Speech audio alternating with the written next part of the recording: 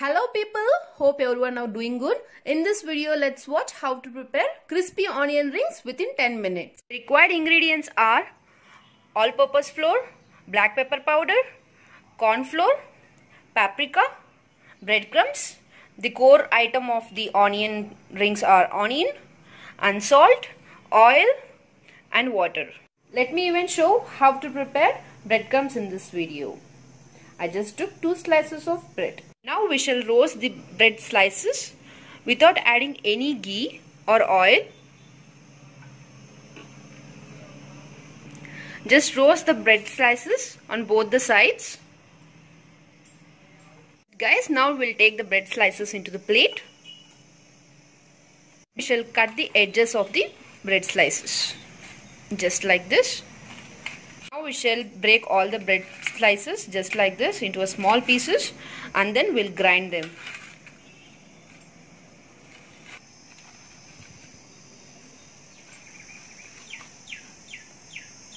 And take them in a bowl. And this is how it is formed.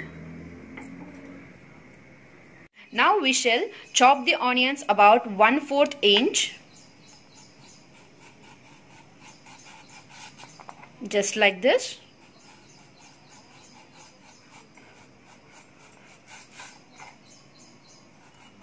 Shall divide all the onion rings. Just prepare the batter just by adding 3 spoons of maida which is called as all-purpose flour and 1 spoon of corn flour powder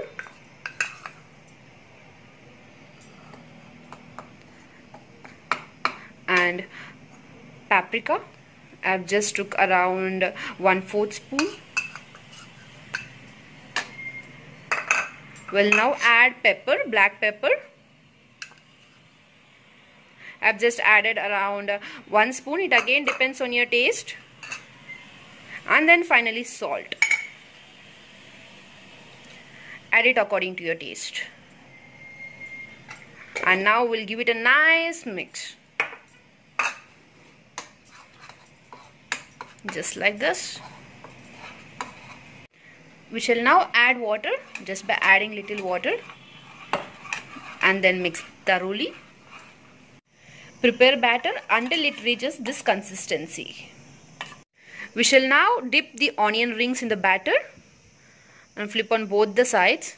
And now I just use the holder to avoid messy and then we'll coat with breadcrumbs.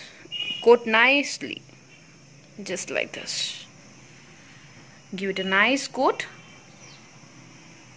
And then we'll place them in a plate. We shall drop all the onion rings into the hot oil and allow it to fry until it turns golden brown color That's it guys. The uh, crunchy onion rings are ready. We'll now take them in a plate.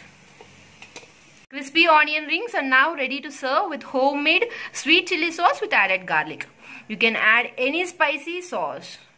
If you like this video, please do like, share and subscribe to my channel. Thanks for watching.